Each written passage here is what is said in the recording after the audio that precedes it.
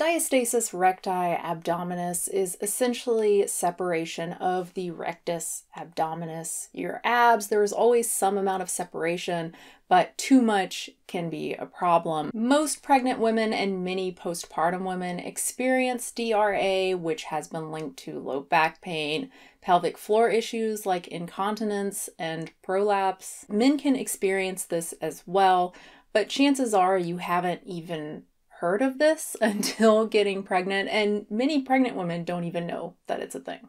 Fortunately, you can prevent diastasis recti and even heal it. Unfortunately, the standard advice on how to do this is not evidence based. If you Google diastasis recti exercises, virtually every single source will tell you to stay away from crunches, sit ups, planks, anything that puts pressure on the front wall of your core, your abs. Even WebMD promotes this, going so far as recommending nothing on your hands and knees, presumably even cat cow is, is not okay, is too risky. And we see the same problem on YouTube. My favorite source by far for prenatal workouts is Body Fit by Amy, but even she constantly harps on staying away from crunches, planks during the second and third trimesters and postpartum. And we want to make sure that we're not doing any of our traditional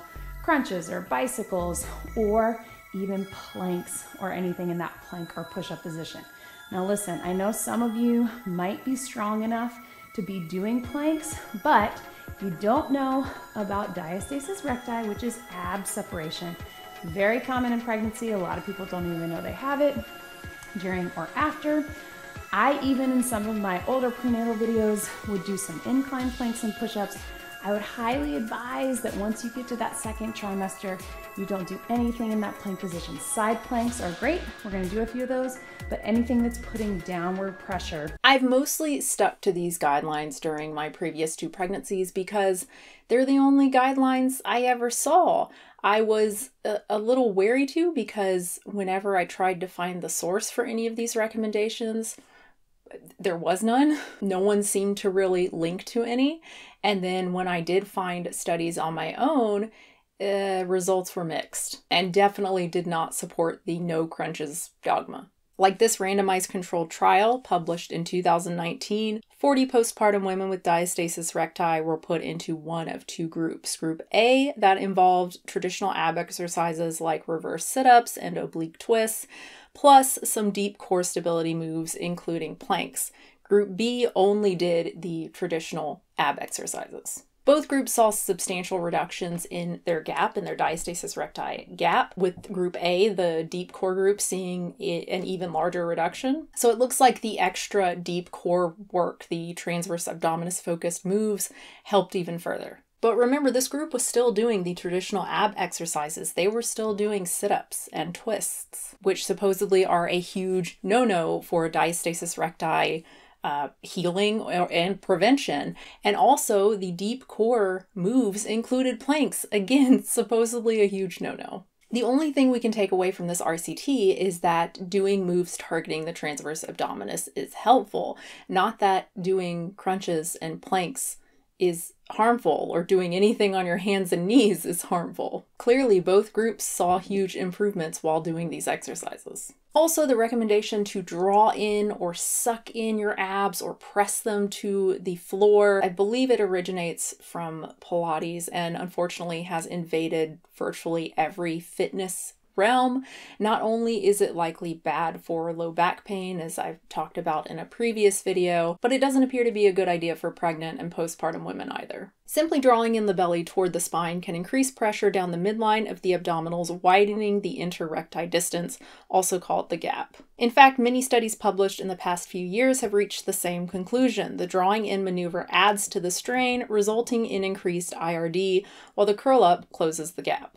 That quote comes from the NASM and is literally the only source I've found actually referencing studies when talking about DRA, and those studies counter the conventional wisdom. They point out the usefulness of crunches for pregnant and postpartum women when done correctly when the transverse abdominis is engaged. You want to prevent any doming when performing the move, any move. If you can't, if you aren't strong enough, probably stay away from that move until you are. They also include several exercises, including crunches and planks, to prevent DR on a ball since it's generally not recommended to lie flat second and third trimester. Like many conditions, diastasis recti is easier to prevent than to reverse. Allowing core muscles to atrophy for nine months and then followed by several months postpartum increases the chances of muscles separating under the strain of pregnancy and delivery. The conflicting advice does women a disservice because maintaining a strong core and healthy weight with exercise before, during, and after pregnancy is undoubtedly the best method to avoid DRA which is basically what I did during my first and second pregnancies. I did nothing or virtually nothing, relying on very, very basic, very easy core exercises like some of the stuff Body Fit by Amy recommends. They're a great starting point if you're just getting into exercise, whether you're pregnant or not. But for those of us who exercise regularly it's it's basically like doing nothing. It's just very easy. Luckily, I didn't seem to have any additional separation postpartum and really during much of my pregnancy. I can't know for sure because I didn't have any formal diagnosis. No one has ever talked to me about DR. I just learned about it on my own. Medical professionals don't seem to take it seriously. They don't seem to prioritize it. The priority is definitely the baby, right? The baby is the priority, not us moms. At least here in the US, probably why we don't have any postpartum care until six weeks after we give birth. And many hospitals will fight you on taking your baby to the nursery so you can get some goddamn sleep. Point is, I probably had a nice advantage given I worked out prior to pregnancy and regularly did core specific movements. Even now, well into my second trimester with my third baby, I don't have any additional separation. Or maybe I'm just genetically very lucky.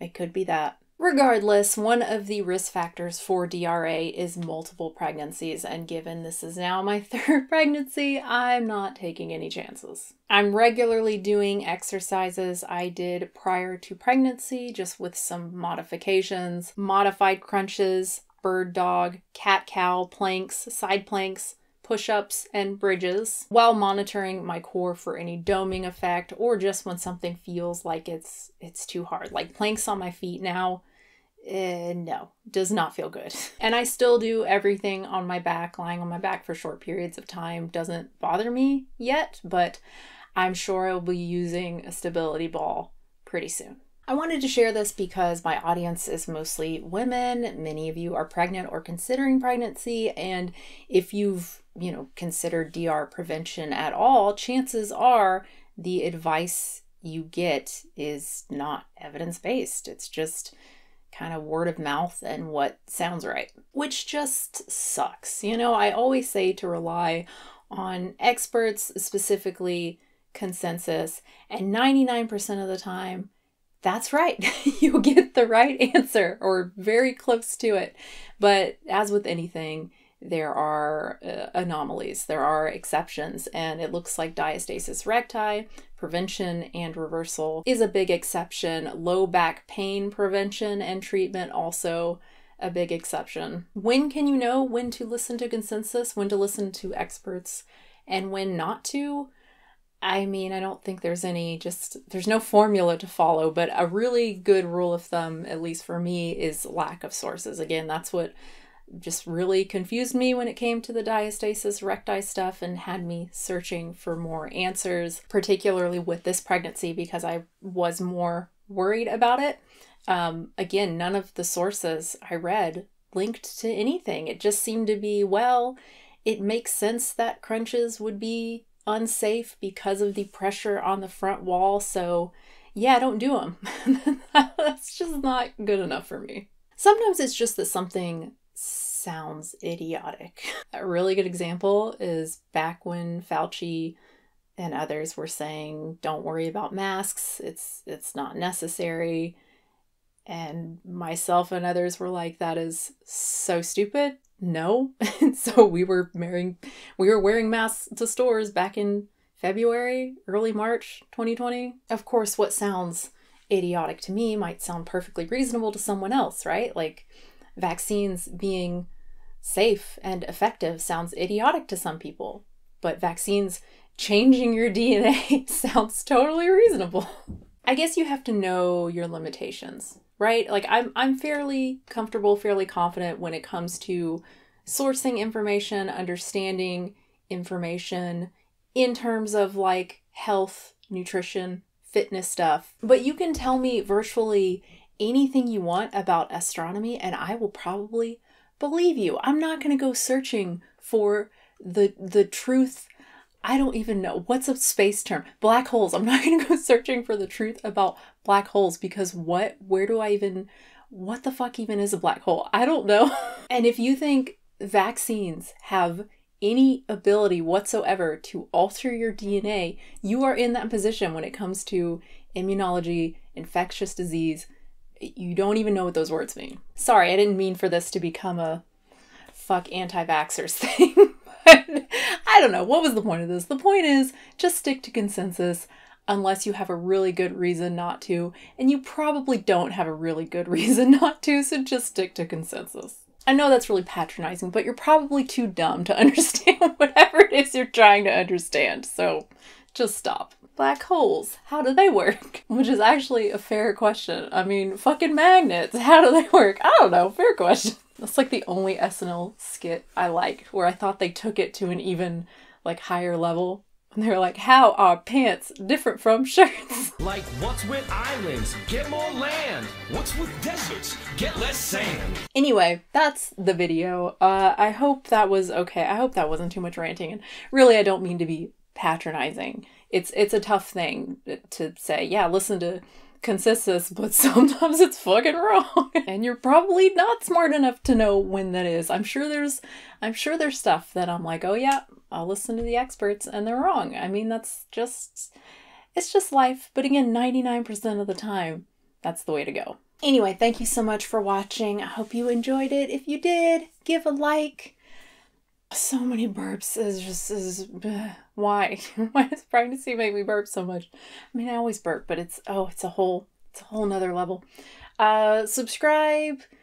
What? Uh, what? What's another thing? I don't know. The bell if you want to be notified when I upload. Patrons, of course, thank you so much to my patrons at patreon.com slash unnatural vegan. You can support me there if you like. I do upload two exclusive videos there a month for $5 plus patrons. And I have shirts, Amazon store page. I think that's it. Thank you so much, guys. New video soon. Whew, running out of breath. Oh man, the pimple. I put benzoyl peroxide on it just like once a day, and that shit works because it just dried up to nothing. I didn't get to pop anything. I like I'm not complaining. It's good. I don't need something really unsightly on my face, particularly when I make videos, but I was really looking forward to popping it. Oh, conundrum.